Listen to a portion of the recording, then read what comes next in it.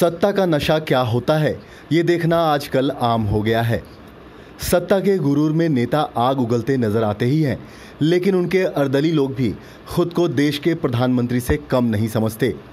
कुछ ऐसा ही नज़ारा देखने को मिला राजधानी पटना के एयरपोर्ट पर, जब प्रोटोकॉल और सुरक्षा का हवाला देते हुए पुलिस ने एक बीजेपी नेता की गाड़ी को रोक दिया।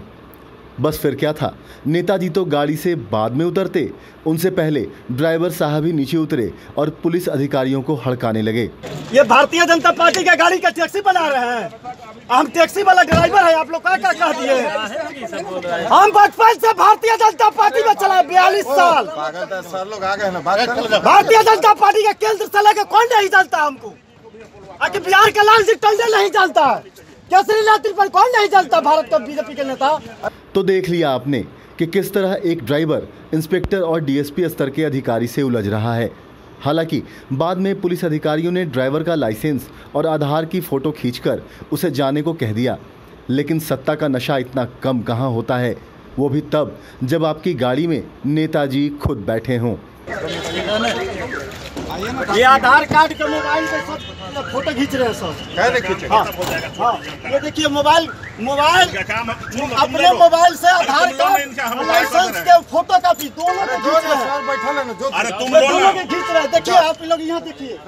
लाइसेंस का photo copy Aadhaar card photo copy ऐसा ड्राइवर को करे कि ये थी तू जाओ सर के लेके अब बारी थी नेताजी की। सबसे पहले नेताजी का परिचय जान लें। जनाब अरविंद कुमार सिंह जी हैं। बीजेपी के वरिष्ठ नेता और फ़िलहाल बीजेपी नेताओं के लिए पार्टी स्तर से पटना एयरपोर्ट पर प्रोटोकॉल की ज़िम्मेदारी भी इन्हीं की है। ऐसे में इनके तेवर किसी से कम कहाँ? कैमरा ऑन था, फिर भी पुलिस वालों को देख लेने की बात कही। और तो और, कैमरामैन को भी हड़काते हुए उसे अपना कैमरा बंद करने को कहा। बैठो। भारतीय जनता पार्टी के गाड़ी का टैक्सी बना दिए लोग। बैठो हम दिखाते बंद करे बंद करे बंद करे बंद करे ऐसे में सवाल ये उठता है कि जब साहब आपको ही प्रोटोकॉल का उल्लंघन करना है तो फिर ये सब कानून किसके लिए?